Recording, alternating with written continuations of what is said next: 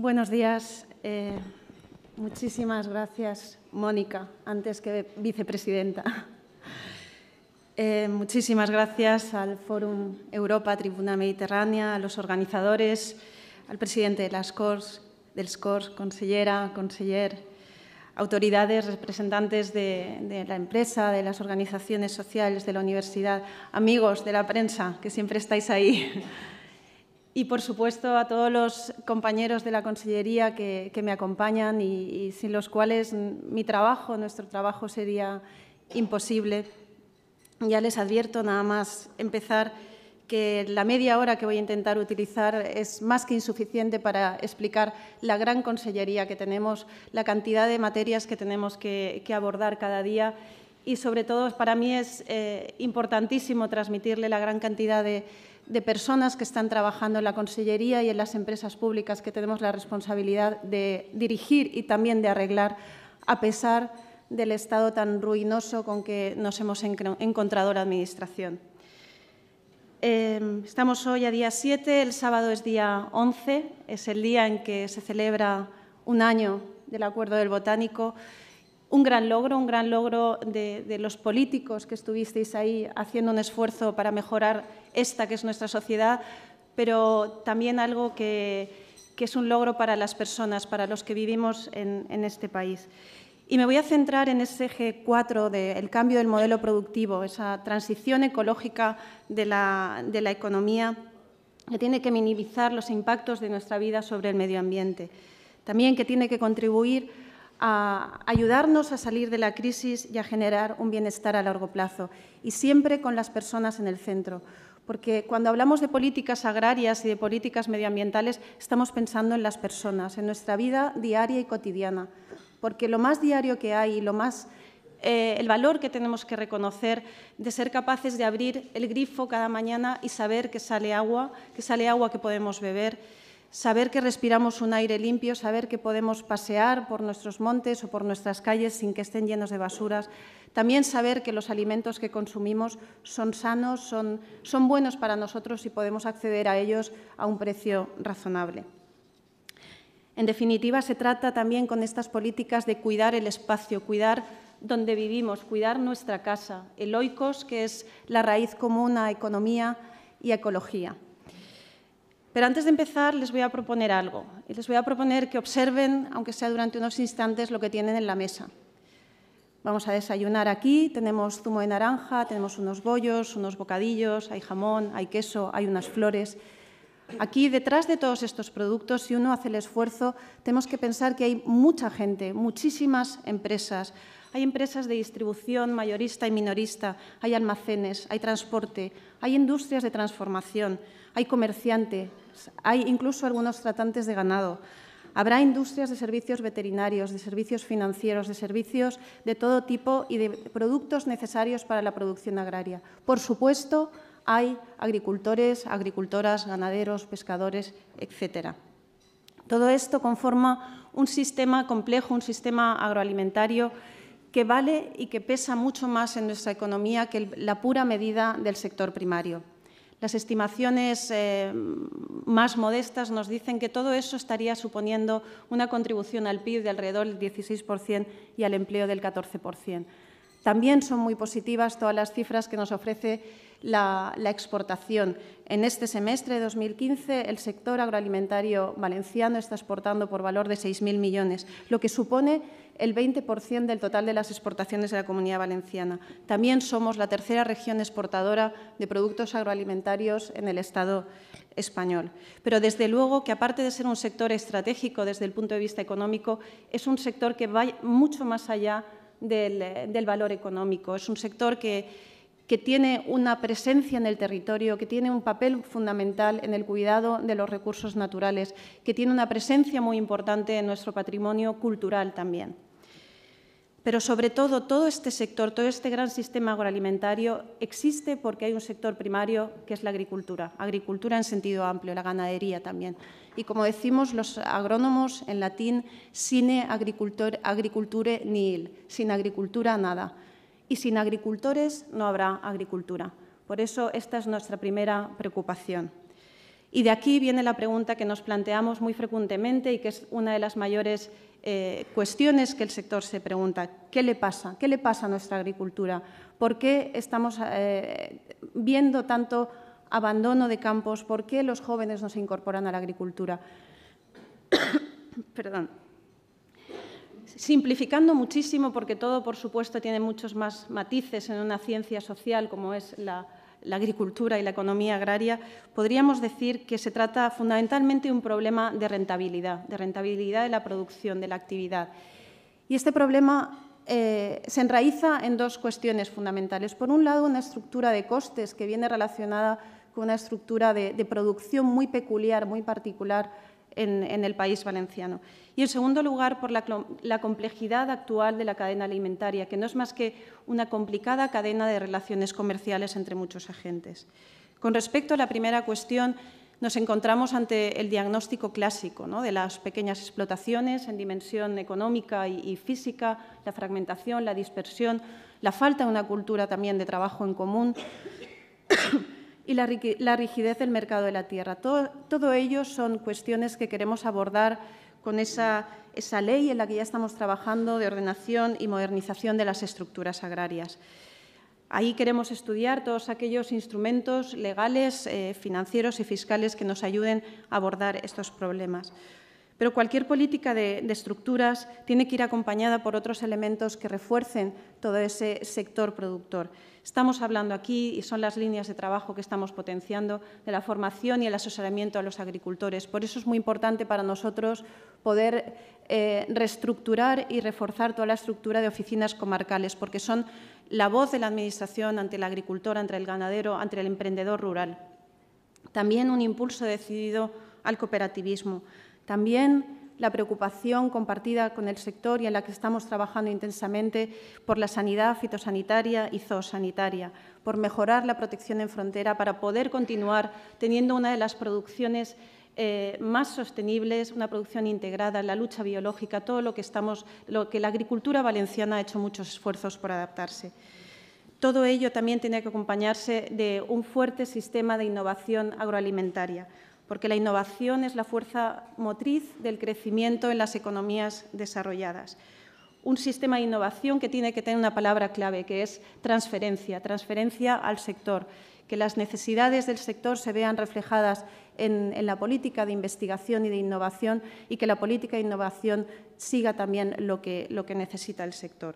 Ahí estamos también trabajando de una manera ya muy avanzada en una ley de innovación agroalimentaria, cuya pieza fundamental será el IBIA, pero también todo el sistema de innovación, de investigación y de universidades que, existe en la comunidad valenciana.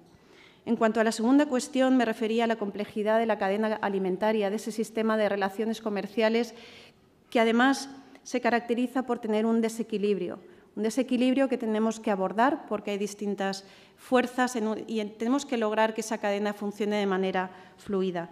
Para ello, ya lo hemos abordado en la mesa de la cadena agroalimentaria, tuvimos una reunión hace muy poco, conducente a buscar entre todos, con la distribución, con los productores, con los intermediarios, un modelo más justo y transparente y también una mayor calidad e información a los consumidores sobre los productos que encuentra en el mercado, sobre los productos que encontramos y que, por ejemplo, hoy tenemos aquí sobre la mesa.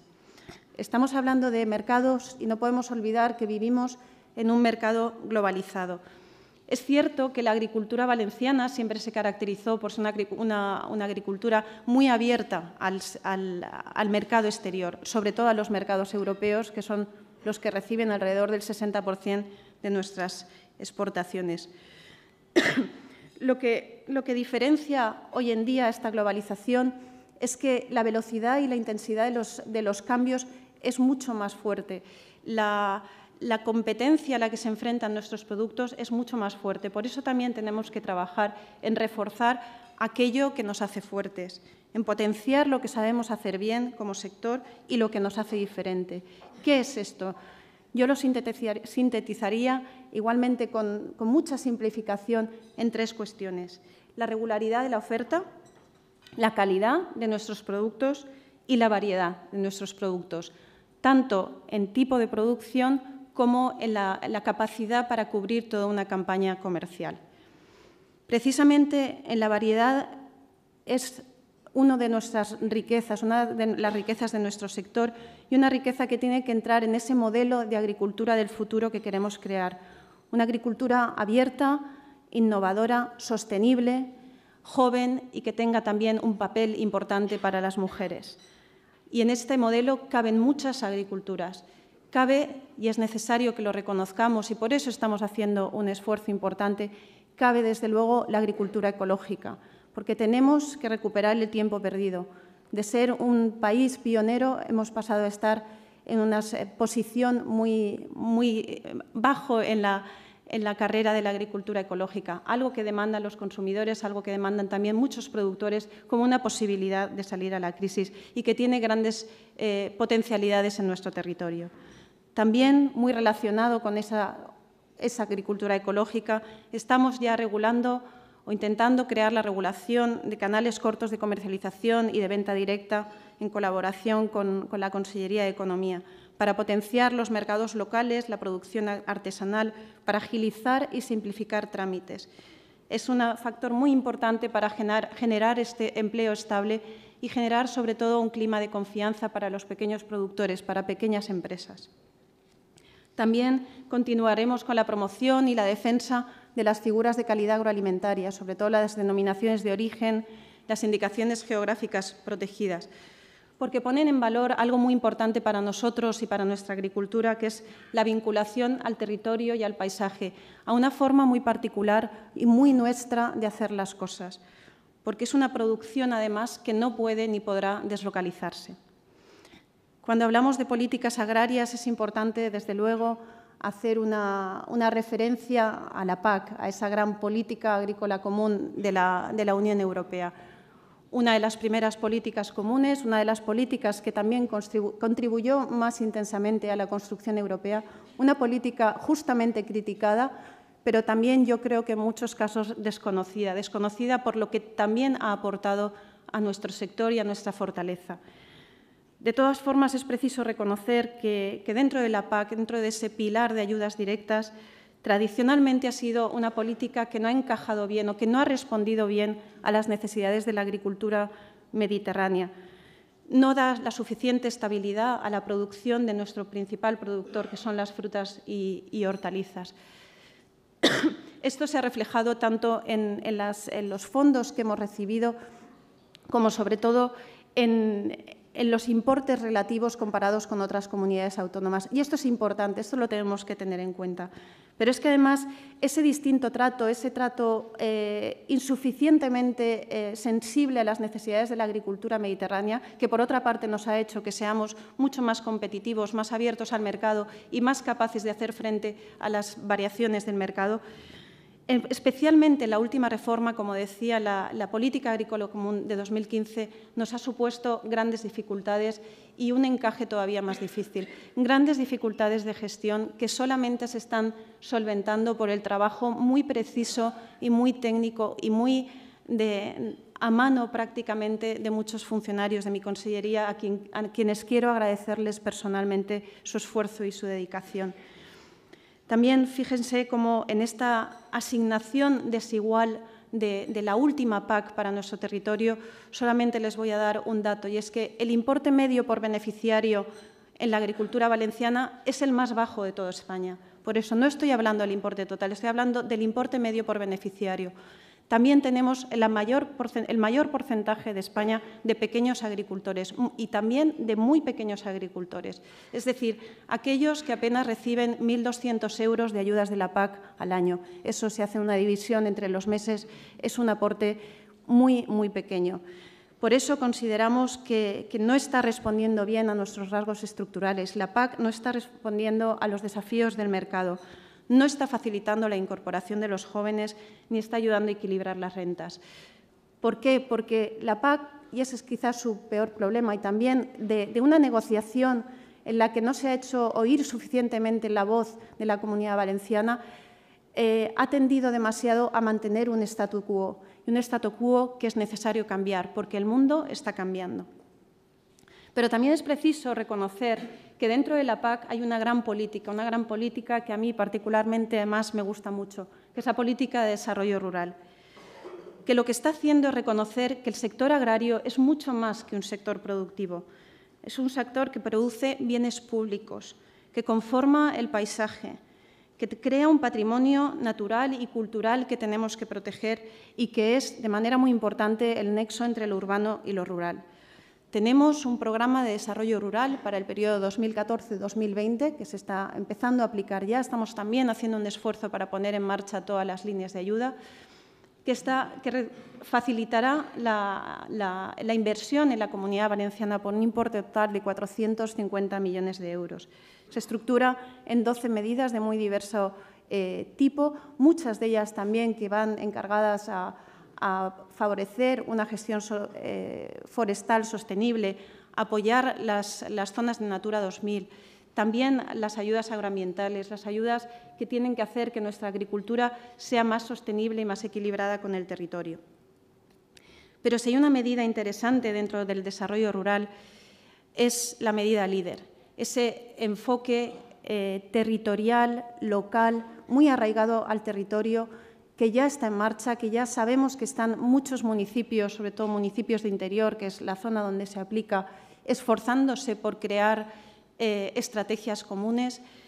Y lamentablemente es una medida que en este periodo de, programación encuentra una dotación presupuestaria bastante eh, reducida. De todas formas, es importante hacer de la necesidad virtud y, como comentábamos el otro día, lo que hemos comprobado es que el esfuerzo que están haciendo tantos municipios, agentes sociales, asociaciones de todo tipo, por sentarse en una mesa, por hablar, por, crear una estrategia de desarrollo local participada, común, creíble, que vaya a generar empleo, que vaya a generar pequeñas empresas. Incluso, además, como decían muchos de ellos, es que además se lo pasaban bien. Con lo cual, yo creo que ese es un valor intangible muy importante que tenemos que poner sobre la mesa de la medida líder y queremos que siga funcionando así. He hablado de la medida líder y estamos hablando al final de territorio.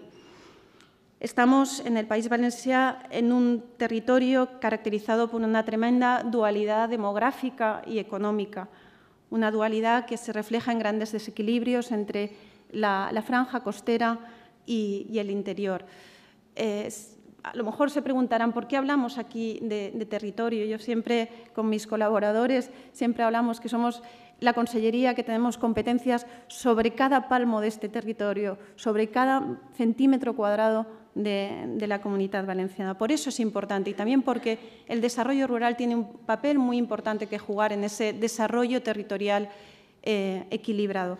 Sobre todo también porque venimos de, aparte de ese desequilibrio estructural, Venimos de, una época en la que esos desequilibrios se han agravado por un, modelo especulativo, depredador del territorio y en algunos casos también corrupto, un modelo que no se puede volver a repetir. Por eso creemos que tenemos ahora la oportunidad y también la obligación de trabajar como sociedad en otro modelo, un modelo que nos ofrezca perspectivas realistas para fijar la población en el territorio y mejorar su calidad de vida, lograr igualdades de oportunidad, sean empresariales, educativas, personales o de todo tipo. También un modelo que esté basado en la conservación y la restauración del patrimonio natural y cultural asociado. Esto tiene que ser una política también transversal de todo el Consejo, pero nosotros tenemos aquí un papel de impulso indudable. Un papel y también una responsabilidad, porque tenemos una parte de ese territorio sobre el que tenemos competencia directa para gestionar. Además, además una parte que hemos encontrado eh, en cierta medida abandonado o con, una gestión bastante precaria. Me, refiero en particular a los espacios naturales protegidos y, sobre todo, dentro de ellos, a los parques naturales y otros espacios también protegidos y toda la zona, la, la red Natura de 2000. Estamos trabajando muy intensamente para devolver la dignidad a la gestión de los parques naturales. Queremos contener los recortes presupuestarios y de personal que sufrieron en los últimos años. Queremos lograr, también, mediante la participación y el, diálogo, que la sociedad, sobre todo aquellos que viven en un parque natural o en su entorno, no lo vean como una fuente de limitaciones, sino como una riqueza a preservar. Queremos que toda esta protección del paisaje, del territorio, se convierta en un motor de desarrollo socioeconómico para muchas zonas de interior. También en toda esa superficie tenemos que recordar que en la comunidad valenciana alrededor del 50% de la superficie está considerada como superficie forestal. Por eso es muy importante que hagamos una gestión forestal sostenible. Yo siempre digo que la gestión forestal no se le tiene que, poner el apellido de sostenible, porque la gestión forestal o es sostenible o no es gestión forestal. Tenemos la obligación de mantener, mejorar y proteger el estado de nuestros bosques, porque están ejerciendo papeles muy importantes para nosotros, que no se miden con dinero, porque es como decía Machado, es de necios confundir valor y precio. Por eso, los bosques están contribuyendo a la recarga de los acuíferos, a absorber a, su función como sumidero de CO2, contribuyen en su regulación del clima y de los ecosistemas, en la protección del suelo, ese gran olvidado que a mí me gusta siempre recordar. Somos, tenemos el 40% de nuestra superficie con un riesgo de moderado a grave de desertificación, de erosión. Tenemos mucha superficie de nuestro país eh, afectado por problemas de, erosión. También el bosque, el bosque está sometido tiene una fragilidad y una vulnerabilidad enorme ante cambios que van a ser más acrecentados por el cambio climático.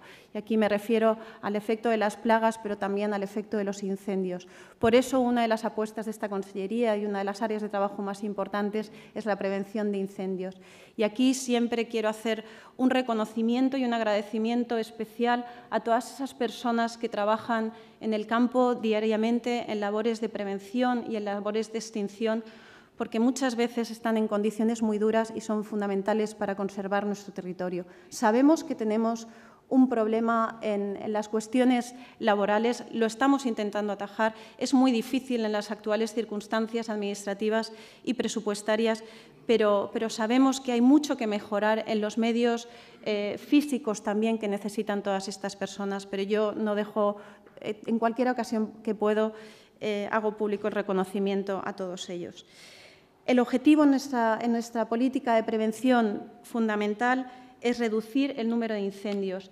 En los últimos años tenemos menos superficie quemada, pero tenemos prácticamente el mismo número de incendios eh, que en los años 70 u 80. Además, tenemos una singularidad muy preocupante en la comunidad valenciana y es que somos estadísticamente muy vulnerables a lo que se llaman megaincendios, aquellos que tienen un efecto muy grave sobre los ecosistemas y sobre los, bienes físicos y, desgraciadamente, algunas veces también humanos. Por eso estamos trabajando mucho, muy coordinados con los servicios de extinción con los ayuntamientos para mejorar los planes de, quemas agrícolas, para buscar soluciones que también generen empleo en, la gestión de la biomasa agrícola y forestal. Estamos también intentando llevar actuaciones que, frenen la expansión de un incendio si se produce, que, también eh, faciliten las labores de extinción y que nos lleven a tener bosques, lo que en la terminología se denomina como más maduros, con mosaicos, con discontinuidad de especies para eh, aumentar, en definitiva, la resiliencia de nuestros, de nuestros bosques. Ahora paso a un aspecto muy importante y supongo que ya esperado por muchos de los asistentes, y es hablar del agua. Eh, cuando estaba preparando esta, esta intervención, eh, estuve releyendo un, un libro un libro que, entre tantas muchas otras cosas me, ha enseñado mi padre, que son las observaciones que hizo Antonio José Cabanilles en sus viajes por lo que entonces era el Reino de Valencia, sobre la geografía, la agricultura, el paisaje. Hablaba del agua, hablaba del regadío, hablaba mucho del esfuerzo de los valencianos por, conservar el agua, por guardar el agua de, de lluvia.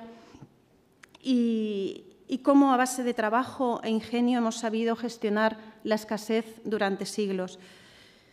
Em, efectivamente, esa, gestión del agua ha sido sobre todo para, nuestro sector agroalimentario, para, tener una agricultura eh, productiva, eficaz, eficiente, pero también sabiendo que la agricultura es el principal usuario, es el principal usuario que tiene que asumir la responsabilidad de que estamos ante un recurso escaso y muy valioso para la vida. También ponía de manifiesto eh, Cabanilles en, esos pasajes la importancia y cómo habían trabajado tanto los valencianos en crear unas infraestructuras que, por cierto, también nos vienen desde los árabes. Y es verdad, en cualquier política hídrica son fundamentales las infraestructuras para asegurar el agua en cantidad y, sobre todo, también que no se nos olvide en una calidad suficiente. No podemos olvidar que la política hídrica también se encarga de la depuración, del saneamiento y, al final, de la distribución, lo que llamamos el ciclo integral del agua. Pero una política hídrica no puede ni debe ser únicamente basada en las infraestructuras. Es muy importante que trabajemos entre todos en una mejor gobernanza del agua, que tiene que guiarse por principios de transparencia, de solidaridad y de responsabilidad compartida. Por supuesto, en el marco, dentro del marco legal y competencial que tenemos.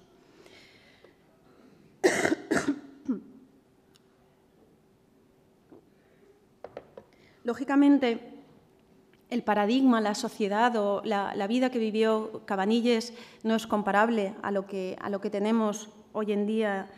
Han pasado más de 200 años, pero en lo que, lo que más me gusta es pensar que Cabanilles, como, como ilustrado, lo que nos enseñó, lo que nos enseñó la ilustración, es a utilizar el conocimiento y la observación para arrojar luz sobre los desafíos de su tiempo y con esa luz así poder alejarnos de dogmatismos, porque además el dogmatismo solamente conduce a la intolerancia. Por eso nosotros ahora que tenemos el conocimiento, que tenemos la tecnología, que sabemos lo que nos dicen los informes científicos sobre el cambio climático, tenemos de nuevo la obligación y la responsabilidad de pensar en el futuro, de pensar que tenemos que gestionar estos recursos para prepararnos ante un futuro en el que va a haber menos lluvias, en el que pueden producirse eventos eh, climáticos extremos con mayor frecuencia, en el que esas menos lluvias se van a dar también en otros territorios y que no podemos estar continuamente pensando que el agua nos va a venir de fuera. Tenemos que trabajar mucho en la gestión, en la gestión también de la, no solo de la oferta del recurso, sino también del uso, en la gestión de la demanda. Tenemos que ir todavía más hacia el ahorro, hacia la eficiencia, hacia un uso racional del recurso. También que atienda las necesidades ambientales, porque esas necesidades ambientales que ahora atendemos son la garantía de nuestro futuro. Como decíamos, no queremos guerras del agua, no queremos eh, demagogia, ni queremos eh, que se continúe enfrentando a territorios y a usuarios. Queremos llevar el debate, y lo hemos llevado desde el primer día, al consenso, al diálogo y a lo técnico. En ese debate técnico, como decía hace un momento, por supuesto tenemos que hablar de infraestructuras y dentro de las infraestructuras son muy importantes los trasvases. Si tenemos que hacer los que funcionan, los existentes, tenemos el Tajo Segura y queremos hacerlo funcionar con arreglo al marco legal que existe y que nos está garantizando suficientes aportaciones. Em, queremos acabar el trasvase, el post-trasvase, mejor dicho, del Súquer Vinalopó. Ya lo hemos dicho claramente y es el marco en el que nos, movemos. La toma será el azul de la Marquesa. Queremos acabar ya también toda la polémica alrededor de este trasvase y acabar lo que tenemos que hacer, una infraestructura que llevaba más de 15 años sin acabarse y que no ha permitido que pongamos al máximo toda la capacidad que puede lograrse. Para ello también insistimos una y otra vez al Ministerio. El Ministerio tiene que cumplir sus obligaciones, tiene que repararnos la balsa de San Diego para que toda la infraestructura sea utilizable. En esa gestión de la oferta de los recursos hídricos siempre hablamos de que tenemos que ir a una combinación de, recursos, de fuentes, trasvases, aguas superficiales, también desalación, lo hemos dicho desde el primer día, hay muchas opciones, tenemos las infraestructuras hechas, lo mismo, insistimos al Ministerio a que las ponga a mayor capacidad, a que haga lo que tiene que hacer para conseguir que ese agua sea más asequible, para conseguir que el coste energético se rebaje, porque hoy en día hay suficientes soluciones tecnológicas para ponerlo en marcha. Es una cuestión de voluntad y de voluntad política. Y también tenemos ya estudiado, muy estudiado, las posibilidades de aprovechar más agua en la depuración, agua regenerada. Sabemos que eh, tenemos una capacidad con todo un arreglo necesario, entre tanto, de cuestiones normativas y técnicas, de, utilizar, podemos llegar a la capacidad de, duplicar el agua regenerada que se puede utilizar, el agua depurada y regenerada. Por cierto, les invito, si, no lo conocen, a visitar el portal abierto, la EPSA Roberta, que hemos abierto en la página web con la ayuda de la Consellería de Transparencia. Algo de lo que creo que hay que felicitar también al equipo de la EFSAR y a la Consellería de Transparencia, porque la situación de todo tipo, y no voy a entrar en que nos hemos encontrado las empresas públicas, me hacen estar más satisfecha, aunque todavía tenemos que mejorar, de que la EPSAR, después de la época tan poco transparente de que viene, sea la primera empresa pública que tiene un portal de transparencia donde hay muchísima información a disposición del público y muchísimas explicaciones de todo tipo. Paso ya a ese área tan complicada que comentábamos antes de los residuos. Miren, hace unos días se me criticaba diciendo que hablo con alegría infantil cuando hablo de residuos. Y yo, en lugar de una crítica, creo que es un halago, porque los niños hablan claro, hablan sin prejuicios, no están mediatizados y hablan con creatividad. Y eso son cosas que necesitamos para solucionar este gran problema ambiental que son los residuos, los er, residuos urbanos. También porque esta es una cuestión muy seria, porque venimos de una situación muy grave, muy grave en problemas de gestión, en infraestructuras anticuadas, obsoletas o al límite de capacidad, incumplimientos de la directiva o, situaciones en las que nos vamos a ver con mucha dificultad de llegar al cumplimiento que marca la directiva. Impactos ambientales tan graves como los, vertederos ilegales, que tenemos además una obligación europea de, cerrarlos. Y, por supuesto, toda una ristra de casos judicializados. También porque hemos tenido que atender a, emergencias, emergencias como el cierre de Abornasa, los lixiviados de la Murada, que se pueden calificar realmente como un, ecocidio, porque ha habido que impulsar la constitución de todos los consorcios zonales y se ha creado un ente de coordinación de consorcios fundamental. Y aquí es preciso reconocer la gran labor que está realizando la Secretaría Autonómica de, de Medio Ambiente y, en particular, el secretario autonómico, por lo que se está implicando personalmente. Porque esto parecerá extraño, pero que te digan como consellera que los consorcios están funcionando normalmente. La normalidad es noticia y es muy buena noticia. Pero además de todo esto, al mismo tiempo estamos sentando las bases para una política ordenada y responsable de residuos en la comunidad valenciana, que queremos que sea ejemplar.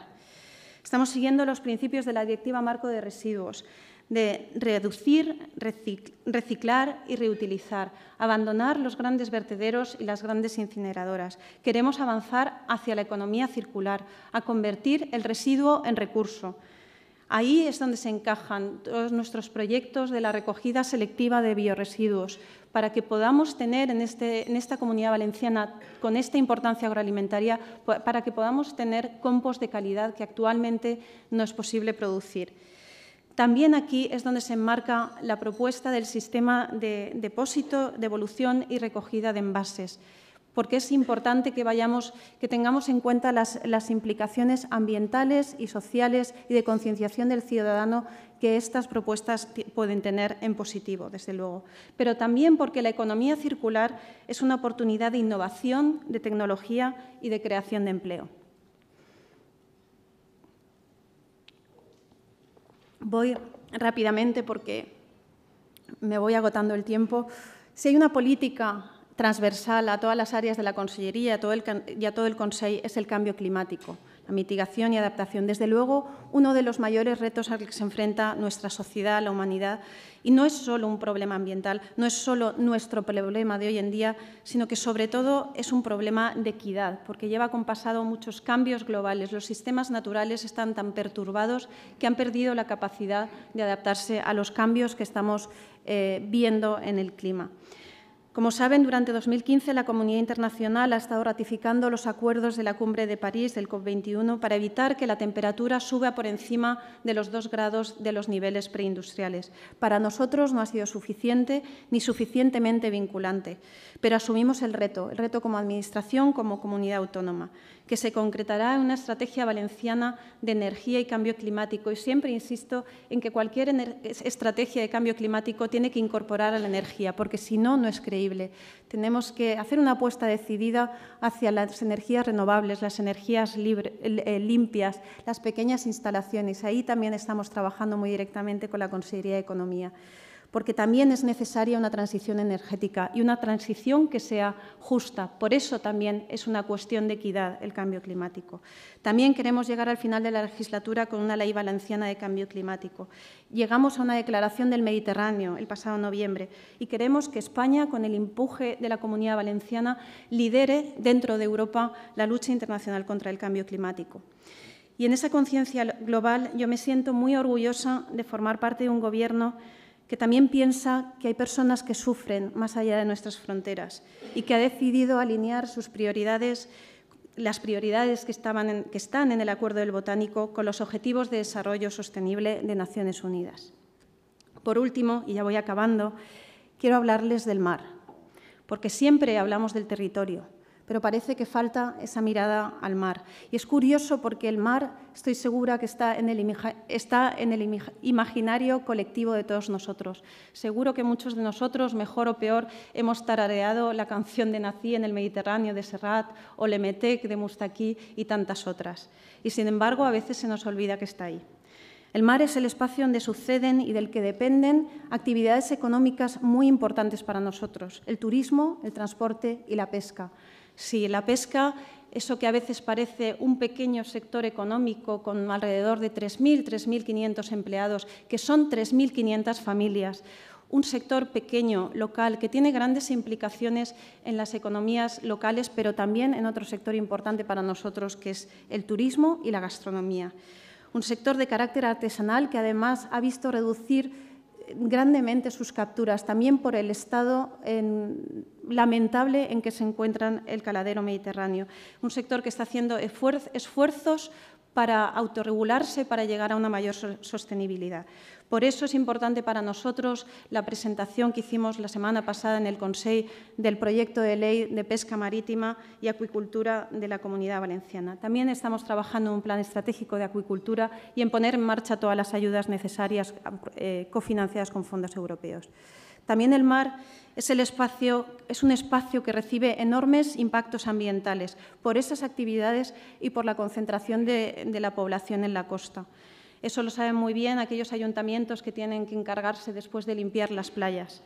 Lo sabemos muy bien también por lo que nos está advirtiendo Naciones Unidas y tantas organizaciones encargadas de medio ambiente, cuando nos recuerdan que las tortugas se comen las bolsas de plástico pensando que son medusas, o cuando Naciones Unidas nos advierte de que hay otro continente flotando de plásticos en algún lugar de los océanos. Por cierto, muchos de estos plásticos son botellas y latas que la misma Naciones Unidas está reconociendo que el sistema de depósitos, el SDDR, podría reducir notablemente.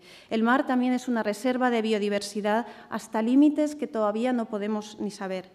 El mar también tiene un funcionamiento que afecta y se ve afectado por el clima. Por eso es importante en cualquier estrategia de cambio climático que pensemos también en el mar. Y eso es algo que siempre ha puesto de manifiesto el Centro de Estudios Ambientales del Mediterráneo, que, por cierto, en unos días cumple 25 años.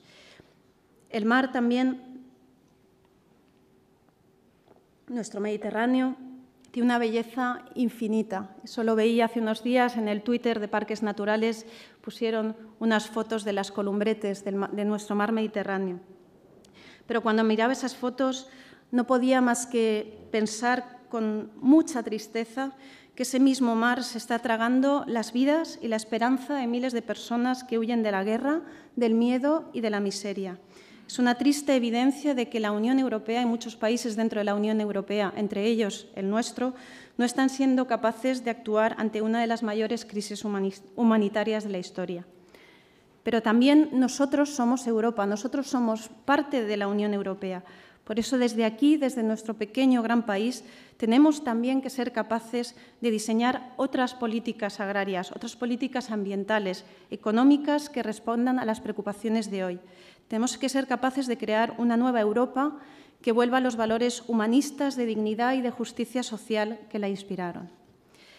Con esto ya sí que acabo. Sé que ha sido un repaso muy general de todas nuestras grandes líneas políticas. Sabemos que es una política eh, prudente, pero ambiciosa y valiente. Estamos dando pasos pequeños, pero firmes, hacia ese cambio de modelo productivo en el que nosotros vemos más oportunidades que limitaciones.